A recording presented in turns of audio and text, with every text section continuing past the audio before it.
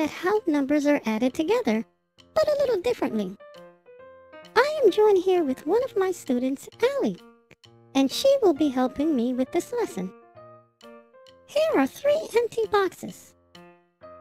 Allie, put any one toy in each box.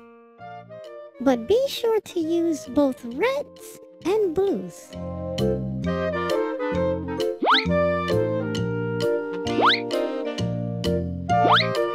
Okay, we see Allie placed two blues and one red to fill all three boxes.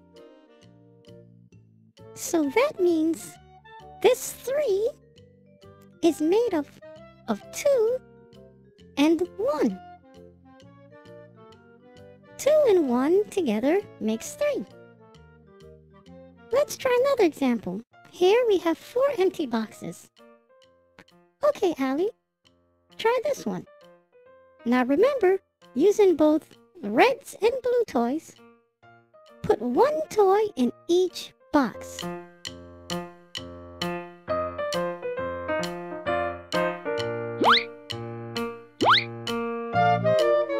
So Allie chose to place three blues and one red to fill the four empty boxes. And do you know what that means? Three and this one makes four. Or four is made up of three and one. Hey Allie, is there another way we can arrange the toys?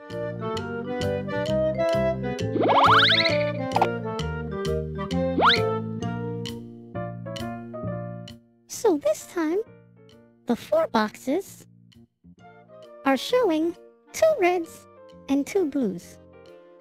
So that's telling us that the four is made up of two and two.